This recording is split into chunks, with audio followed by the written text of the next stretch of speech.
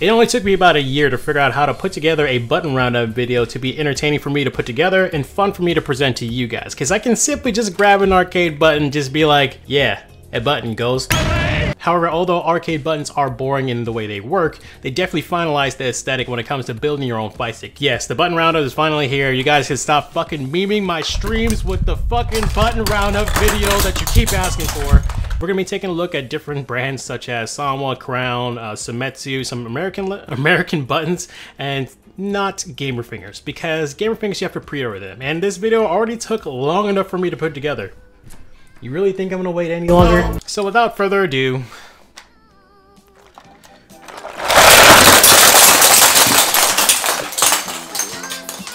let's get this video started, shall we? When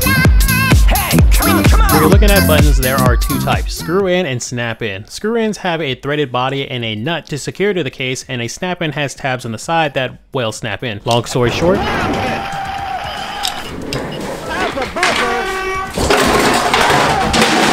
fuck snap-in buttons, which I'll be sharing cons about that later in the video, but they're about as reliable as America handling a pandemic. I also won't be referencing any 24mm buttons because I spent enough money on 30mm buttons. Go buy them yourself, you broke. Being the scrub lord scientist that I am, I found a way to measure the actuation force required for each button. I grabbed some quarters and kept stacking them until the LED on my Qanba Dragon turned on, confirming the actuation. Then I would count each quarter to get the total of the grams required for actuation force. With the premise out of the way, we can finally start off with our first batch of buttons, which are going to be Sanwa. The Sanwa OBSFs are pretty much the standard button being a solid common that comes in a large range of colors, even including a metallic series. If you're looking for a translucent button, you have the Sanwa OBS-C versions, which internally are the same but have a different sound profile due to the use of a different plastic material in these buttons. Pretty much all of the translucent buttons in the roundup, they all have pretty much a plunger and a top cover that you can put artwork in between so you can show off your artwork from the top of the buttons. Unfortunately, Sanwa did it the shittiest because their two-piece design does rattle, which adds to the terrible sound.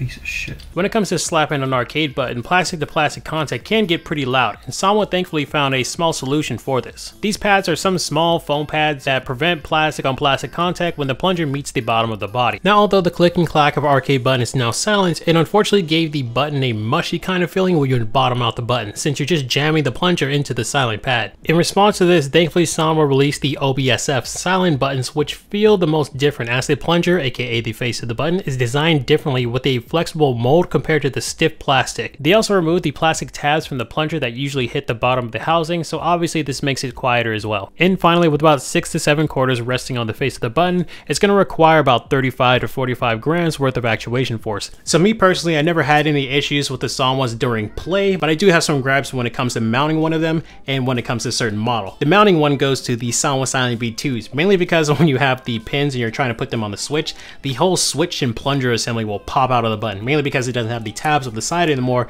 to keep them in the housing. This doesn't happen during play, it just happens when you're mounting them, just annoying. But the one model that I do have a problem with, which sucks because it's probably one of my favorites, is the metallic series. The fucking tabs on this thing are so easy to break. So if you're using the metallics, I would highly recommend to use like a snap out tool or something to get them out there safely. But if you're gonna be putting them in the fight stick, I would definitely say set and forget. Don't really risk trying to break the tabs and you'll have a useless button down in the future. So from the variety of options that Sanwa buttons actually come in, you can see where they gain their notoriety. You have Sanwa OBSF silent buttons that address the sound profiles, and you have a wide range of colors such as the metallic series that have some unique colorways that not any buttons here that I'm showing at least today even offer. Now Sanwa does have screw-in types, but they're just really limited. Now due to the actuation force, or my measured actuation force, it is the softer one within the bunch, and I have heard people breathe on them and like swipe them wrong and get a wrong input, and just say that the buttons can be too soft in general. But throughout my findings, I have found out that no, you're, you're just trash. Recycling on a good day. Sound check.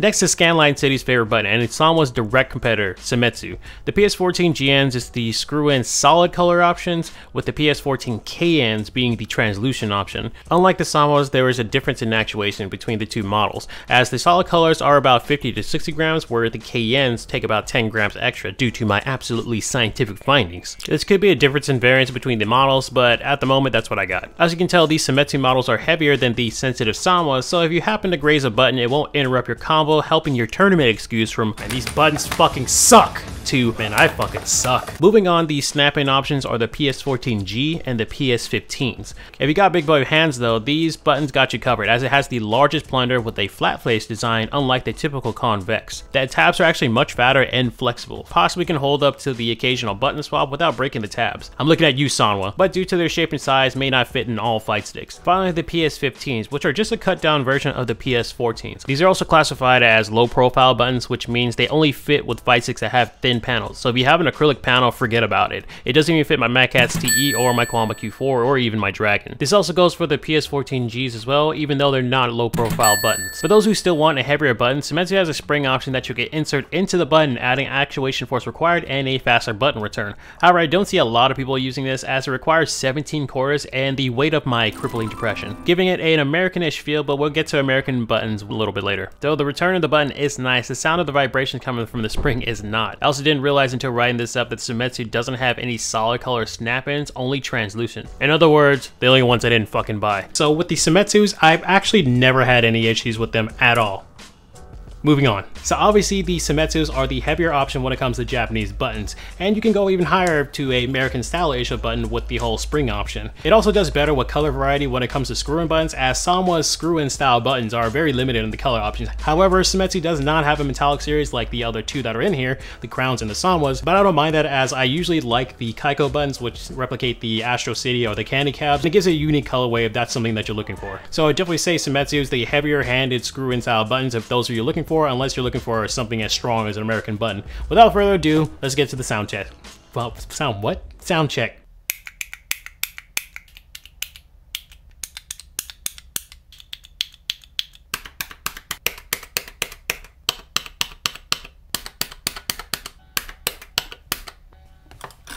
These next two models, I'll be combining them into one category, as they both represent the same thing, an American button, with the Suzo Happ as the concave variant and the convex variant, the Industrias Lorenzo. These are essentially a two-piece button design consisting of the body and the switch, which you'll need to buy individually. The body usually goes by the plunger type being the usual convex normie button or the all too well known concave button of the arcades. The two usual options of switches are the Cherry DX44s, which is a 75 gram heavier switch with a soft click, or the E switch, which is a 50 gram switch which has a much more noticeable click. Now you let the quarters rain onto the buttons and they definitely actuated around the same amount of quarters. But in comparison to the other buttons, they're heavy as fuck heavier than all the ones here. However, you will notice that the pins on these switches are quite bigger than the ones you usually see. That's because these are .187 pins, so you will need a similar conversion harness like you would need to a JLF to a Korean lever. So fitting in a Japanese style fight stick is going to have some challenges due to its overall length. The body, funny enough, is the thinnest of the bunch while having the smallest plunger in the roundup. So obviously with all these parts, it takes up a lot of space, a lot of real estate inside the case, so you have to make sure it's going to be able to accommodate the American buttons. But who knows, it might be worth it to get that sweet depth-defying click that reminds you when you got body in NBC.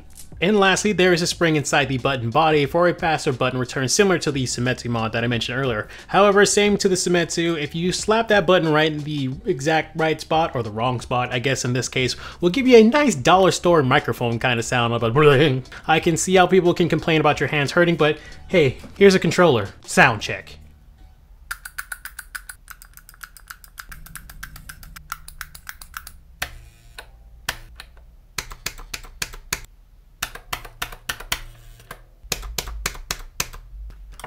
As most of you know, Korean levers are pretty much my bread and butter, but how are their buttons? The Crown 201s are the solid color options which require about 55-ish grams to actuate. Then you have the translucent model, the Crown 201C, that takes about 65 grams. This makes them heavier than their solid color brethren, but slightly heavier than the Seimitsu KNs. One thing you'll notice compared to the Sanwa or the Seimitsus is the size of the switch, and that's because it's a multi-piece design, consisting of an enclosure that holds the switch, contacts at the bottom of the enclosure, and then you have the micro switch itself. Now the next ones aren't exactly the first of its kind, but the Crown Crown 202 SDBs are the most customizable ones here, period. This is because it uses a Cherry MX speed switch, which are usually found in gaming keyboards, which are the same switches that are found in my keyboard, which you can see in the B-roll right here, which can be swapped into the button. That means no GAT arms you have in as big. But be aware of what switch you use, as the travel of the button may push too far into the switch, possibly damaging it. But so far, my NovelKeys Sherbets and my Trash Pandas have been fine. With the stock silver speed switch, it takes about 7 cores to actuate, so it brings them really close to the Sanwa OBSFs, but they feel more sturdier than the other ones in the round, including the Seimitsus. And of course, just like the other ones, they have a solid color option and the translucent version. With the Crown 201s, I never really had any issues. With the Crown 202s, I did have some issues.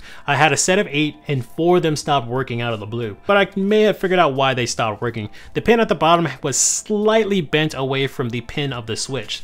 Imagine this being the contact and this being the pin. The contact was just a little bit away from the pin, not touching it. I did buy a solid color pink set and those have been working ever since then. I've actually had those for just over six months now. This definitely seems like more of a QC thing because I have seen threads of people buying them and then just suddenly not working or some people just never had any issues. So just beware when you are looking into these. But like I said, my pink 202s have been working flawlessly. So the one thing that's going to become pretty obvious with the crown buttons is the options of colors because they're not as wide as some say as the Sanwa Seimitsu, but is wider than something as the Suzo or Industrias Lorenzos. But when it comes to the button models themselves, such as the 201s and the 201Cs, feel like a heavier Seimitsu switch that have a little bit more travel. And then you have the endless customizability coming from the 202s, so you have that endless like route you could go down if you don't like any of the options that are listed here today. So, sound check.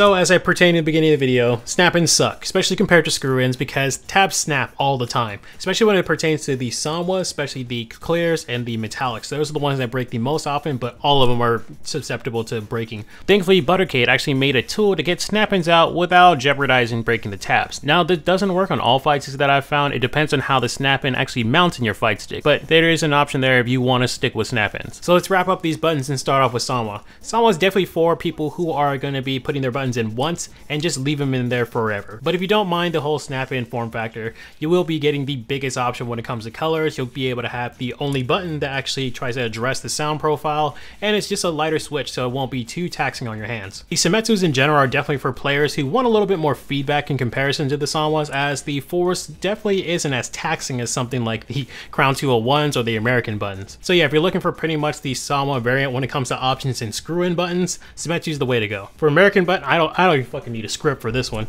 Putting in American buttons are an absolute pain in the ass, at least in a Japanese fight stick. However, if you're wanting to replicate that American arcade or that arcade that you ever grew up on from the American buttons that were on said cabinet, this is the only way to go. And the click that comes from the American buttons is absolutely satisfying. One of the few buttons that I could probably just lay around and just click it on in my spare time. However, I can say that they definitely feel the cheapest when it comes to all the other buttons that I have here. They still feel really solid, but if you are to put this in a fight stick, I would probably recommend the convex ones because, I mean, did you hear the fucking concaves?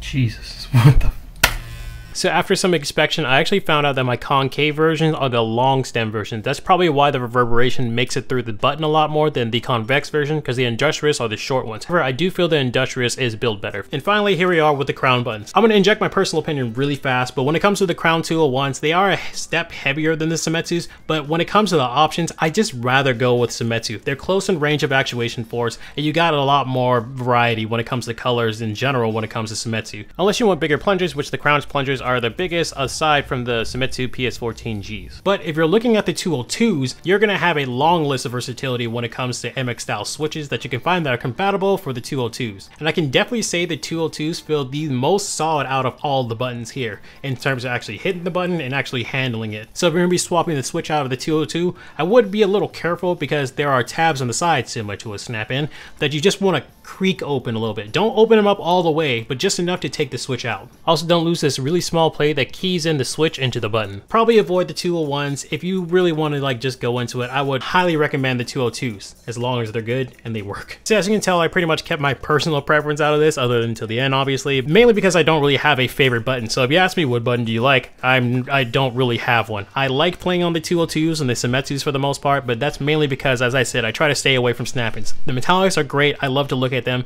but trying to take them out if I decide to mod them in the future is just a pain in the ass. So now that this Google search of arcade buttons has now been compacted into one video, which is now on YouTube because your lazy ass couldn't do it yourself, I hope you enjoyed. I now finally have a Discord. Some people have been asking me about it, so I left it down below. I also left it in the community tab, which nobody checks because I know nobody cares about my videos, but hey, whatever. Peace out. Until next time. Woo!